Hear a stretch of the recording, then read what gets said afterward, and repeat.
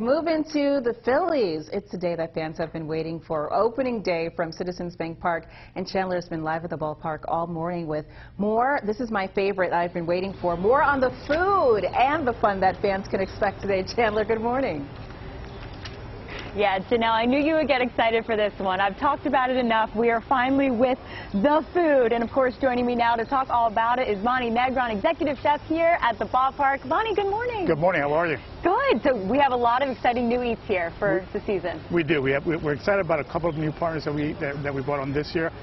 Uh, the first one that we're really excited about is Manco Manco Pizzas. You know, Jersey Shore staple. Shore favorite. Ocean City staple. Uh, I, I grew up, you know, going to the, the Jersey Shore. Yeah. My kids went, you know, grew up at the Jersey Shore.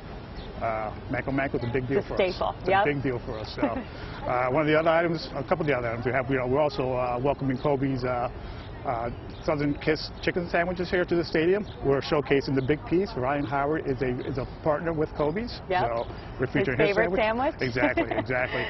We're doing an in-house burger. It's called a PB&J burger. It's a oh. burger with peanut butter and jalapeno jelly.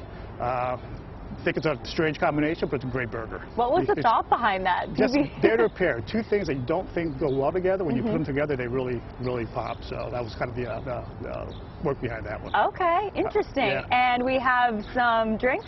Yeah, Clear Rum is another partner that we're happy to have in the ballpark. So Clear Rum will be here. Uh, we also have the uh, spoon pie from Kobe's. It's a peach cobbler spoon pie. Oh, that looks delicious. And something really cool about Killer Rum, it's distilled in the heart of Pennsylvania, correct? It is, yes. Uh, Clear Rum is distilled in Pennsylvania, correct. All right, so Vonnie, if, if I had to try one, what do we think? I think you start with the pizza. Okay. All right? all right, folks. I mean, I've been smelling this all morning.